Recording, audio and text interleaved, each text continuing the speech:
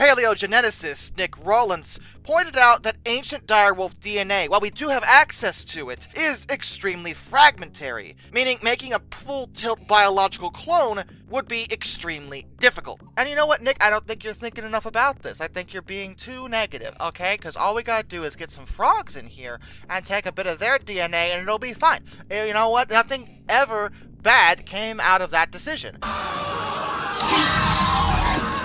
Just gotta fill in those gaps. Just just fill it with whatever. Just throw it in there without any cause or consideration for the potential consequences or ramifications of what we are doing. Because that's not how science is done. We don't think about that stuff. We don't think about consequences here. We just do it.